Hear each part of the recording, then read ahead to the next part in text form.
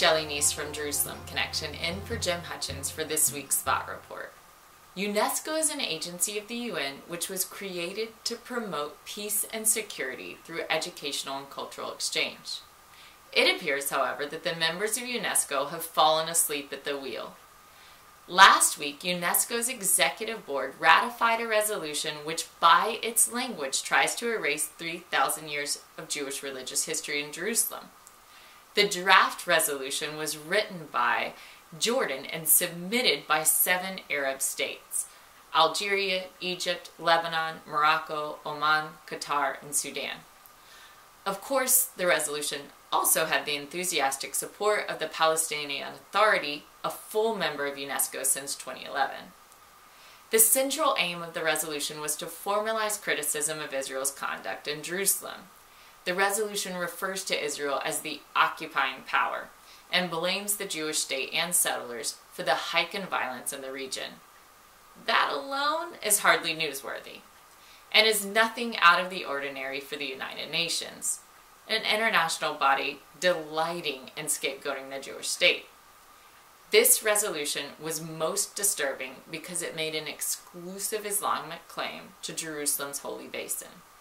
The language in the resolution should make the blood of every Christian and Jewish person's blood boil. It was carefully drafted to sever ties between Judaism and the Temple Mount and the Western Wall.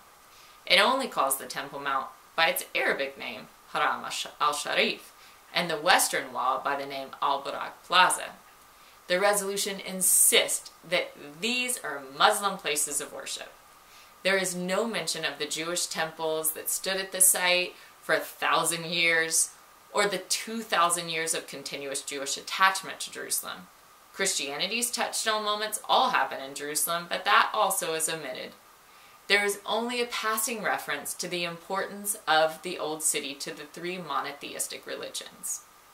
The resolution accuses Israel of restricting Muslim worship on the Temple Mount. Yet no mention is made of the daily assaults on Jewish visitors. To the Temple Mount by Muslim rioters, nothing is said about the fact that non Muslims are completely forbidden from worshiping on the Temple Mount.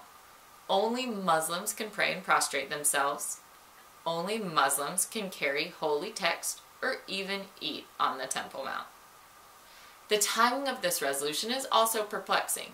After an intense two years of Palestinian terrorism in Jerusalem, it surprises me that the Arab countries thought now would be a proper moment to highlight what they perceive as Israel's aggression.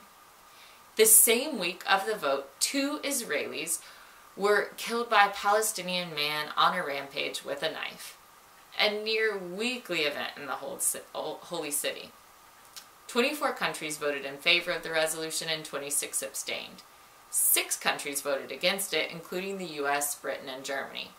It was considered a diplomatic victory in Israel that the 33 countries which originally supported the draft resolution dropped down to 24. France and Spain's abstention was especially recognized. In the last minute, Mexico's envoy had a crisis of conscience and retracted his nation's vote of support, and Brazil said the next time it would do the same. Even the Director General of UNESCO made statements after the vote that reflected her disapproval. She said to deny, conceal, or erase any of the Jewish, Christian, or Muslim traditions undermines the integrity of the site and runs counter to the reasons that justified the Temple Mount's inscription on the UNESCO World Heritage List. She received death threats from Islamic terrorists shortly after her statement. Be sure, Israelis are not just licking their wounds. Two days after the UNESCO resolution was ratified, 50,000 Jews gathered at the Western Wall to receive the blessing recited annually during Sukkot, the Feast of Tabernacles. Among those present at the wall were also a few thousand Christians.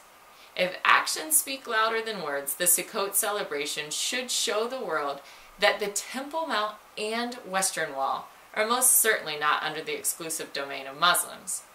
The Temple Mount has always been the center point of the Jewish faith, and it will continue to be. On Sukkot, a season of pilgrimage, Jews pray that one day the temple will be rebuilt and they will ascend and appear and bow before their Creator. UNESCO resolutions may be a public insult, but they cannot rewrite history, erase archaeological evidence, or nullify eternal covenants. Shavua Tov.